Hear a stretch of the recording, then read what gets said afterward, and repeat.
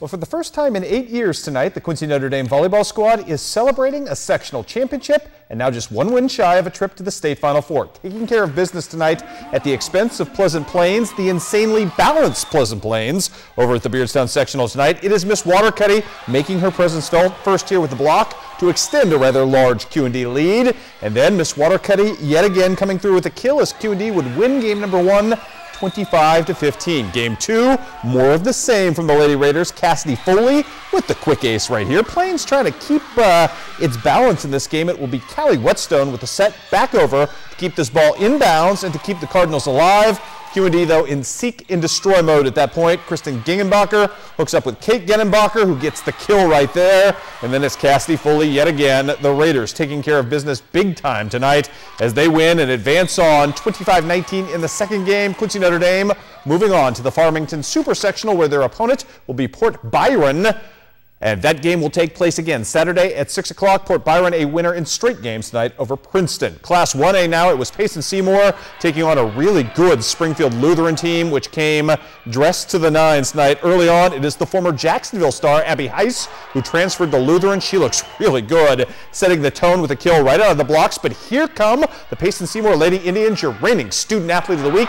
Catherine Richards throws down with a big kill. She's not done making her impact felt at the net, not by a long shot shot right here, looking for the side out. It's Richards' first the attempted kill, and then she's going to hustle her way back to the spot and throw down the block as well. Great night for her. Better night, however, for Jesslyn Rote, the outstanding superstar from Springfield Lutheran.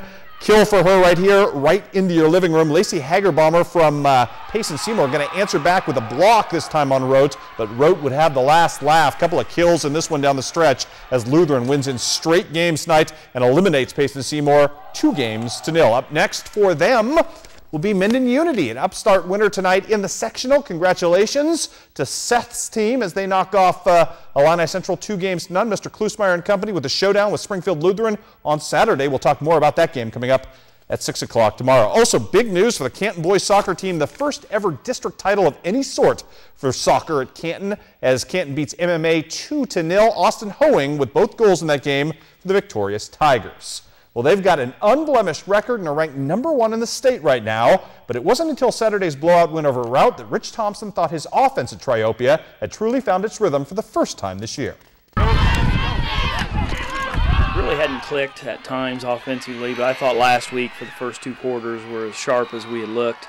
And I thought we were able to spread the ball around to all of our weapons, and that was important too. Using Tanner and Jansen and John but Derek had a big day. He's going to be our workhorse. And uh, I thought Waylon really stepped up and ran well. Cody Curry ran well. Uh, so, yeah, I was really pleased with our effort. The timing of that offensive surge could not be more perfect, as come Saturday, Gibson City Melvin Sibley will put Triopia's much celebrated defense to its most stringent test yet. Well, I think it's a challenge. Uh, they've got a big fullback that's going to come right at us. We're really going to have to play physical downhill and continue to do what we've been doing and getting five, six, seven hats to the ball uh, because this young man uh, is going to break some tackles. We got to play with our speed. They have a lot of size and they have a lot of power. We just need to get to the ball fast, get all guys to the ball, and just make sure we got everybody on them so we can take them down. They've done a great job. Um, this team has always, this group has always played uh, pretty good defense, but I wasn't sure going in if they could play it at the varsity level because uh, we're not real big, but you know we're quick, we're physical, we get to the ball, and I think our overall team speed is what's really uh, the strength of this defense. Uh, and our two bookends with Dakota coming off one end and John Love coming off the other end, it, those two kind of set the tone and keep everything inside, and then we're getting good pressure up the middle as well. We got a lot of confidence coming to this one. We just got to play our defense and do what we do. We've got the debut tonight in men's college basketball at Culver Stockton for Jack Schrader. This team looks pretty darn good already. Jordan Lassiter right here doing yeoman's work on the offensive glass, putting that back up and in. His team trailing at that point by four. Dushan Koich, Koich, I should say, Dusan Kojic. I'm going to say that name right sometime this season.